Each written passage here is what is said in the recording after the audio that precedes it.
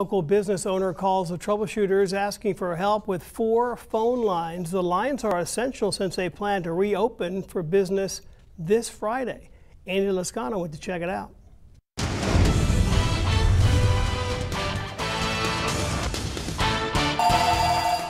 Hello, Lou's Saloon. Ah, yes, the sweet sound of a telephone ringing.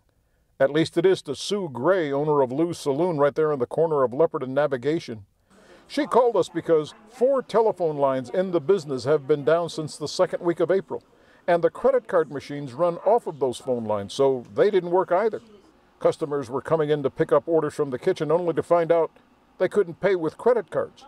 Norma Arriga talked to them. Though a lot of people were kind of upset because they had to run to the store to, you know, as it is, the bar itself was closed.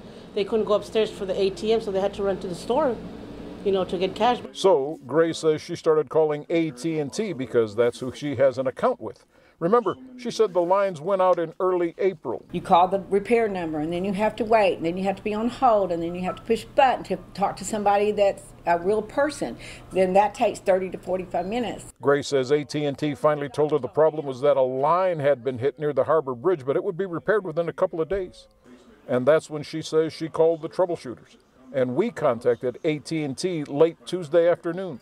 Tuesday night, a matter of just a few hours later, Gray's personal phone rang. They called me last night at 7 o'clock and told me all the phone lines were working. They were here early this morning to check all the phone lines that they were working to make sure that, that the credit card machine was working and everything. Uh, instead of chicken fried steak today, we have hamburger steaks.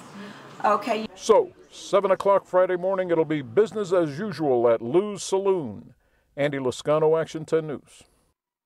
See a happy ending. Well, if you need help from the troubleshooters, send us an email to troubleshooters at kztv10.com.